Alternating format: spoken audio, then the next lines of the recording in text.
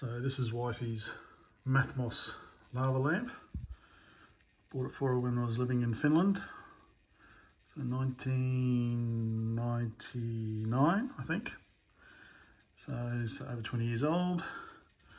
Um, problem is, it's getting harder and harder to get the incandescent lamps because we're all going green. So obviously the way the lava lamp works is it uses the waste heat of this inefficient bulb to heat the wax up as well as provide light. So this is a um, 40 watt, this one's made in Hungary actually, uh, 40 watt bulb. You can see it's, it's blown.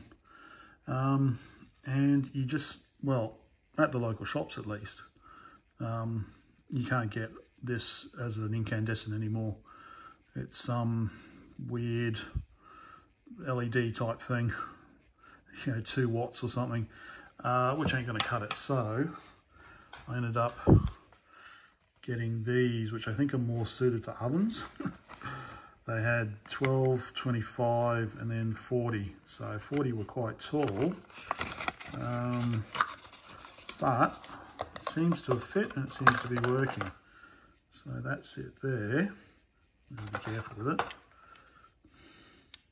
So it's a bit taller. Oh no, actually it's about the same height.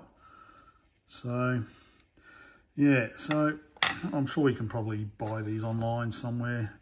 Um, but you know, just going into the local shops, looks like this is what I'm going to be using now. Um, lift it up. Whoa! there we go. So, working quite nicely. 20 year old lava lamp continues to live. That was all.